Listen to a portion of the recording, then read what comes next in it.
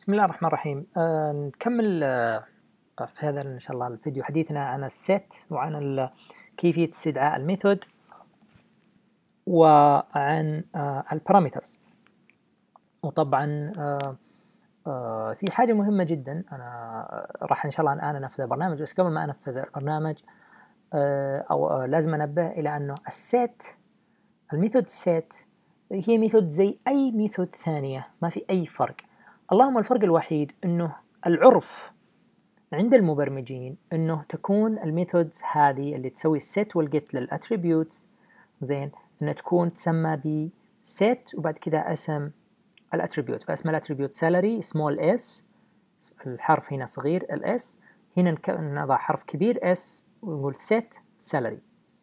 زين؟ ولا زي أي method ثانية. أي method ثانية راح تشوف فيها كذا وراح نفصل إن شاء الله بالتفصيل. إحنا ذكرنا قبل راح نضيف إن شاء الله إضافات يعني إضافية على معنى ال method وكيف تعمل ال method.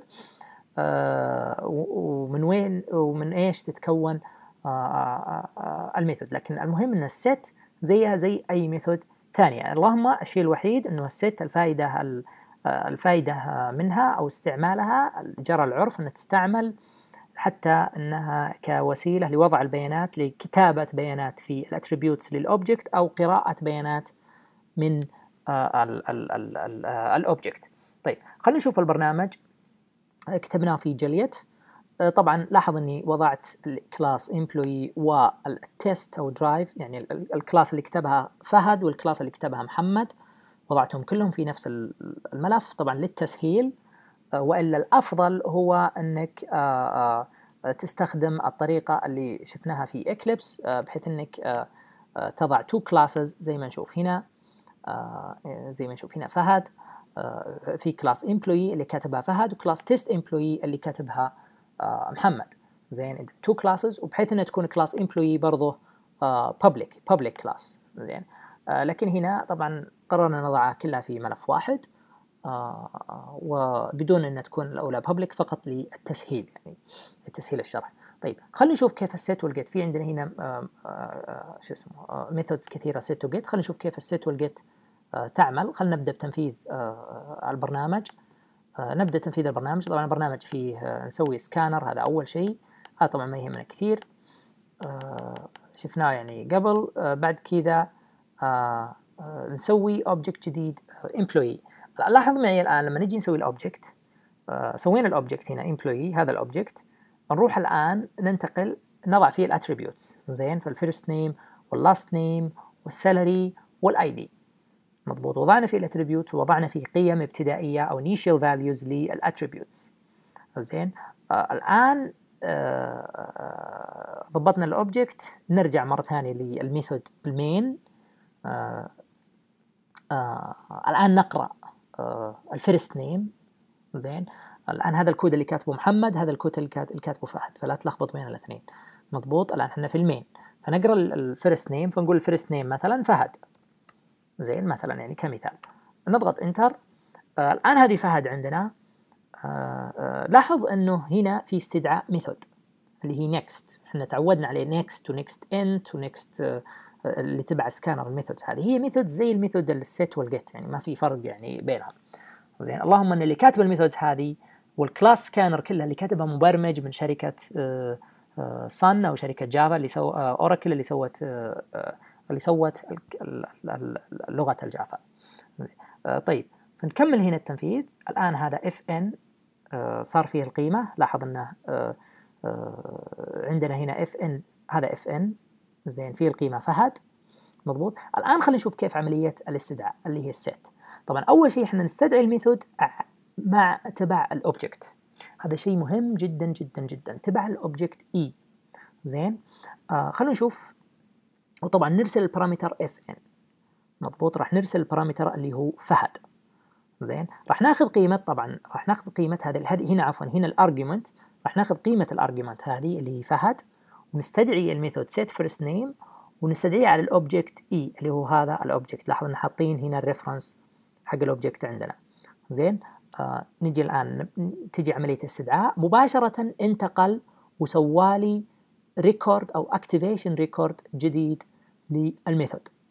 مضبوط؟ اذا اذا سوينا activation record جديد ونقلنا إذا تذكر نقلنا ال argument ووضعناها في ال parameter fn هذا ال parameter fn أصبحت قيمته آه هي نفس ال argument ال value ال argument اللي أرسلناها اللي هي آه فهد.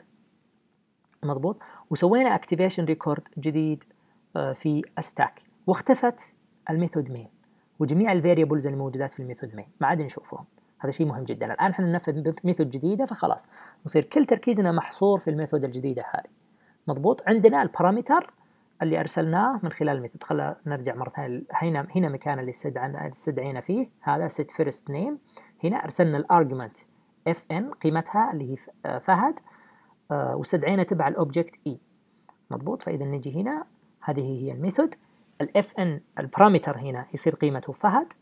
مضبوط؟ ونسند قيمته إلى المتغير first name. فالآن نبدأ تنفيذ ال method. أسندنا قيمة ال parameter إلى ال attribute أو ال property first name. طيب first name حقت مين؟ first name حقت ال object اللي استدعينا عليها ال method. لاحظ إنه البرنامج هنا محتفظ باسم ال object اللي هو E. مضبوط. محتفظ باسم ال object E هنا عشان يعلمك يقول لك إنه أي أي access أي ذكر. زين. أي إذا جبنا ذك إذا ذكرنا أي واحدة من ال attribute هذه فاننا نقصد ال attribute اللي تبع ال object e مضبوط طيب بعد كذا انتهينا طبعا أسندنا القيمة.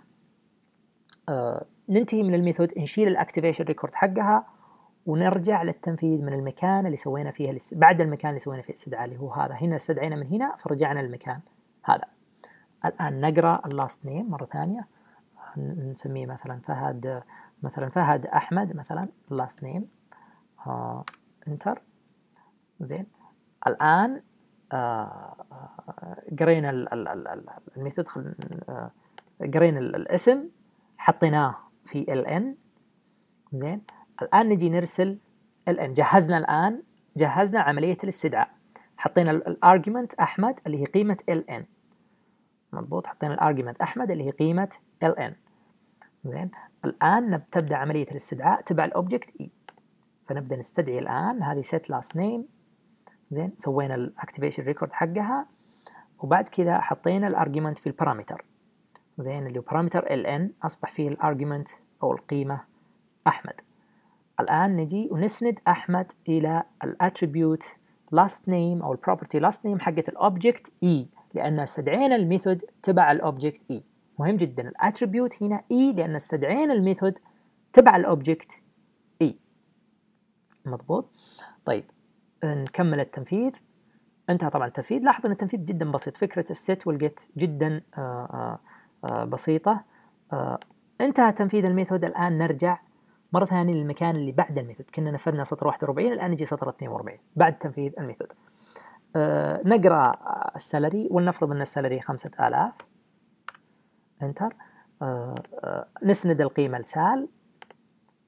بعد كذا الآن تجينا عملية set salary.